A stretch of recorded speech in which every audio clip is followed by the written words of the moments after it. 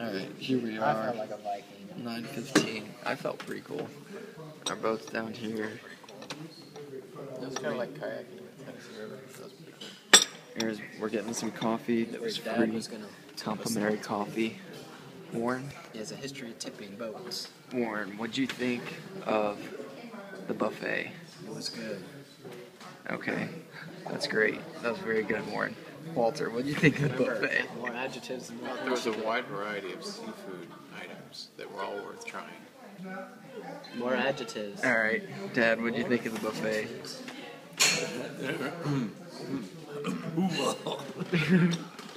Well, there was so much great food that was it's hard to uh, not try everything. Right. Somebody, Willis, what do you think of the buffet? Hey, Willis.